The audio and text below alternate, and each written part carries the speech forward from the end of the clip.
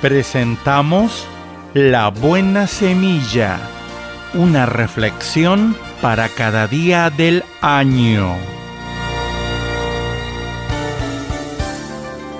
La buena semilla para hoy se encuentra en Hechos 8 versículos 32 a 35. Como oveja a la muerte fue llevado y como cordero mudo delante del que lo trasquila, así no abrió su boca en su humillación no se le hizo justicia, porque fue quitada de la tierra su vida. ¿De quién dice el profeta esto? Entonces Felipe le anunció el Evangelio. La reflexión de hoy se titula Lo que he buscado durante tantos años. Este es el testimonio de Judith. Nací en Israel, mis padres sobrevivieron al holocausto judío en mi adolescencia empecé a interesarme por las cosas espirituales. Pensaba que la verdad se hallaba en el budismo. Experimenté momentos de tranquilidad, pero también de miedo porque la meditación oriental abre el espíritu al ámbito de lo oculto. Entonces decidí cambiar de camino. Me casé.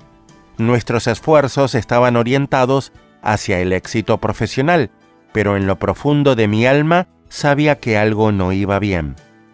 Los años transcurrían sin que hallara la verdad. Tenía la impresión de haber fracasado porque no era una persona mejor. No había hallado sabiduría ni paz. Tenía miedo a la muerte y a enfrentar la pérdida de mis seres queridos. Mi madre fue la primera en creer en Jesús. Sucedió en el año 2001.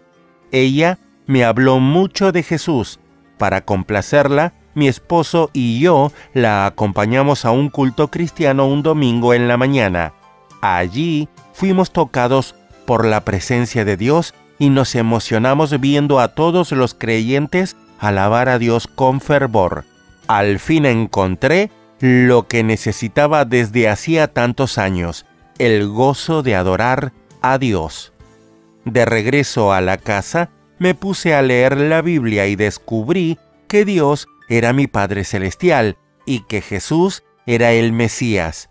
Le pedí perdón por haberlo ofendido durante tanto tiempo con mis pecados. Y oré durante varios días ante Él, dejándome invadir por su amor, su gracia y su perdón. Ahora mi marido Rubén y yo formamos con mi madre una familia unida en el amor y el gozo.